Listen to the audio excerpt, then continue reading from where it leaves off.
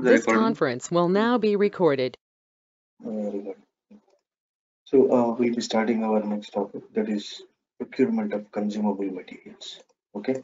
So the topics that we are going to cover here, we will see the difference between procurement of consumable and stock materials. What is account assignment category? What is its importance? Then how to assign the single and multiple account assignments in the in the in the purchase requisition or purchase order. We will see that. Then we will see purchase requisition. Today we will create purchase requisition. Then how to uh, create a purchase requisition or purchase order without material master record. We will cover that. Then we will create purchase order with respect to purchase requisition. Then purchase order acknowledgement. Okay. Then valuated and non-valuated goods receipt. Okay. Then what is item category? Item category in the purchasing document. And we will see how to create a blanket purchase order and uh, entering invoice for a blanket purchase.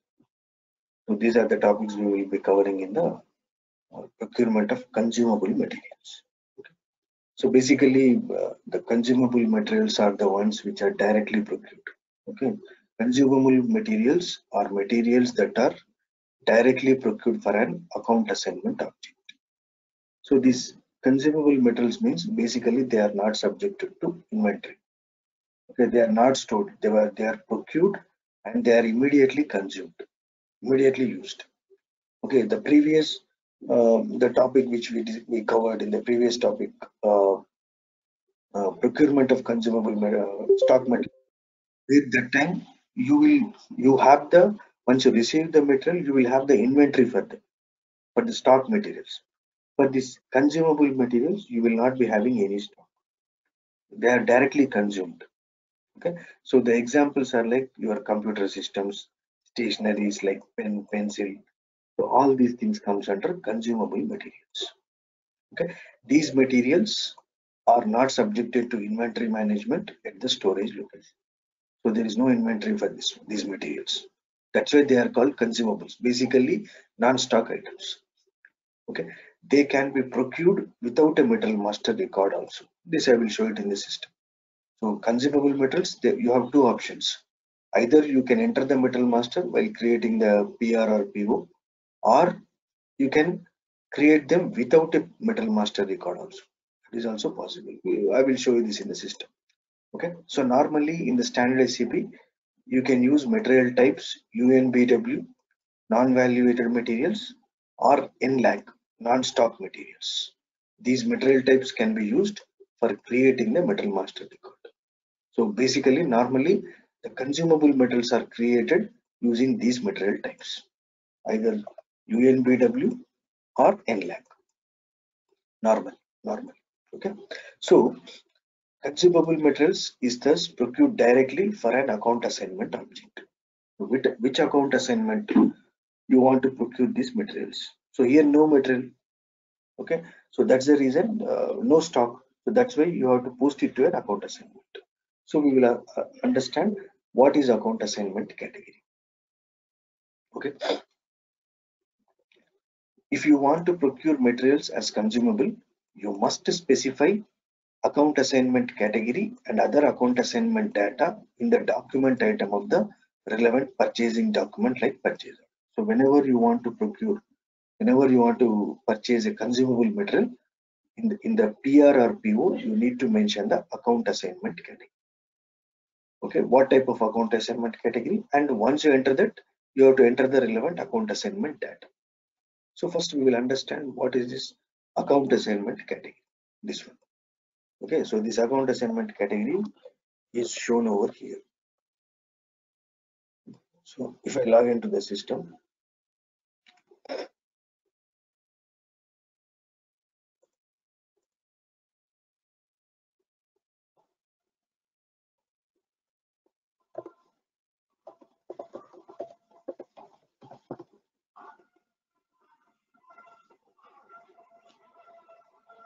suppose if I try to create a PO, ME21M, okay. Hmm, Here if you see, there is a column A. You see here, account assignment category. If you go to the list, if you go to the list, you have these many account assignment categories. So we are discussing about all these things now. We will we are we are understanding what is this account assignment category. Okay. The account assignment category, the account assignment category determines which account assignment object category is, that is to be charged. Okay. So normally in the in the consumable materials, what happens is in the stock materials, the value everything is posted to the uh, uh, material master. So they will have a material master, you will have a price. So for them, the, the posting happen. But here in the consumable material, there is no valuation. So now where the value get posted. So the value gets posted to this account assignment category. Okay. Which account assignment data you must provide and which category of account assignment is to be debited when the good receipt or invoice is posted.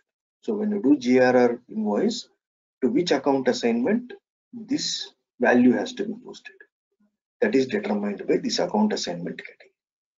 Okay, specification of the objects, the account assignment category like cost center, sales order project that are charged in the case of purchase order of a material that is intended for direct usage or consumption. So basically the account assignment categories can be normally like cost center or sales order or a project. You will have these account assignment categories. So if you see here, this is the one. Here you have you see cost center project. Okay, uh, if you are in PS module, you have an order, sales order, or asset in the plant maintenance module. So you have this all account assignment category. But most of the time they use cost center. In MM, in MM, whenever you want to procure a consumable material, normally they will be using cost center K. That's the account assignment category. Okay. So this is the one we are talking about. Yes. Savan, uh, for stock materials, what are the similar term that we use? Standard this stock for stock materials, you don't need any account assignment category because it will have a valuation class. From the valuation class, it will it will pick the respective GL accounts where the price is posted, value is posted. Yeah, yeah, Whereas yeah, yeah. Same. Uh, I just want to understand uh, what is the parallel term. So it is uh, that you mentioned this valuation class is the similar term that we use for hmm, uh, yes. stock materials. Yes, yes. Okay. Uh, so now these are the account assignment. So when you create the purchase order, when you create the purchase order, when you create the purchase order or, or purchasing document PR,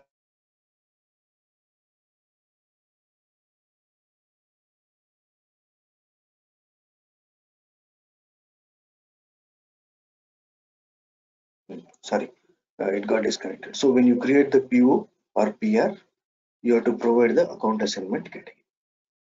Okay, and the account assignment category can be like as I just explained, it can be asset, cost center, project, or a production order or a sales order. It can be anything. It can be anything. Okay, so that is a account assignment category. So now this is the we will understand the defensive. Normally what happens is in case of stock materials, in case of stock materials, what happens is when you do the GR, okay, it's a valuated one. It will have some value. Okay, so the your GR or IR invoice receipt can be posted to the account, respective GL account. Okay, that is for in case of stock material. It will have a material master. It will have a price value. It is a valuated material. So for that particular GL account, from there it will pick the GL account, and to that account, the your value is gets posted. In case of stock material, but in case of consumable material, it will not have the actually the accounting view. Okay, so so the consumable material values will get posted to the consumption account. So that consumption account is nothing but your account assignment. Okay, so in case of GR and IR, invoice receipt. That is the main difference of stock material and consumable materials. Okay, so normally, so normally the system, if you see, consumable materials are created with a material type as I, as I just explained NLAG. If you see this is a plant, I select the material type NLAG. If you scroll down, you will have NLAG. Hmm, You see, non-stock material NLAG. You have this. Okay, it will have a material master. You see, these are the some of the materials they created with material type NLAG. Normally, you will not have the uh, actually in the system they created with valuation class and all price, but normally they will not have accounting view actually. Normally they will not have accounting. This is a training system, right? They created as per their wish, but uh, you are not supposed to create non-valuated materials, okay, with with with this accounting. They normally will not have anything, price or value, okay. So what happens is now when you create the uh, uh, um, uh, when you want to procure this these value uh, consumable materials normally the concerned department will create a purchase requisition okay so first step in this procurement of consumable materials is purchase requisition creation. Okay so the concerned department they will create a purchase requisition. Okay so here they will enter the material code. Okay or without material code also they can enter and they will give the account assignment category. Okay and whether they want to post it to single or multiple account assignments they will enter over here. Okay so now we will understand what is purchase requisition. First step purchase requisition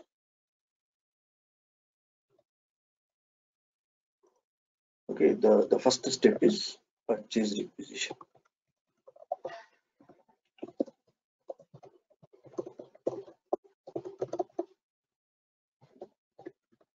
Okay so so what is purchase requisition? We will discuss. So purchase requisitions purchase requisitions are internal documents for asking the purchasing department to procure a particular quantity of a material or service for a particular date so purchasing requisition is nothing but giving a request basically purchase requisition is basically giving a request let's say i am working in production department I need a floor cleaning liquid, let's say. So I have to ask the purchasing department to procure that material. So how to ask for, for uh, asking that the concerned department will create a purchase requisition. Purchase requisition. So concerned department, when they need a material, normally they will create a purchase requisition. A purchase requisition can be created directly or indirectly in the SAP R3 system. We will see that. I will show you this in the system in a minute. Okay? Direct means that a purchase requisition is created manually in the department that made the request. Okay? So they will go to a transaction and they will create directly. Okay whoever creates a purchase requisition determines which material or services is ordered and the quantity and the date so whenever they create directly they will enter what material is the, what material they need uh, by which date and quantity. They will enter manual. That is direct. Whereas indirect means that the purchase requisition is created from another SAP component is created automatically. Okay, so normally uh, purchase requisitions created automatically like MRP. Normally in the plant maintenance order, the PM from PM order they will get created automatically, or from PP production orders, or in uh, project system from PS model. So indirect means they will get created automatically. Direct means manually. Indirect means automatically from other other modules. Okay. So that is it. This is the one. This is the one. So normally the purchase requisition can be created in two methods, either manual or automatic. So once created, it, it can be converted to RFQ or it can be converted to outline agreement or it can be converted to a purchase okay but as of now today we will see this. First we will create purchase requisition and then we will convert it into purchase. Purchase order already we covered extensively in our previous class. What is a purchase order? What is purchase order structure everything we covered extensively. Today we will focus on the purchase requisition. Purchase requisition. Okay? The purchase requisition is basically internal document. It is within the company. You are not going to send it outside to the vendor. Purchase order is sent outside. This purchase order is sent outside. Okay? It will have everything. But purchase requisition is an internal document within the within the departments of the company so as i just explained it can be created manually or automatically So first we will create it manually. Okay. So let us let me go and create the purchase requisition. Okay. The T code is ME51N. ME51N. This is the T code. Okay, so I'll, I'll start again. ME51N. This is the T code. Okay, purchase requisition. Okay, here you have. So let's say now I want to, I need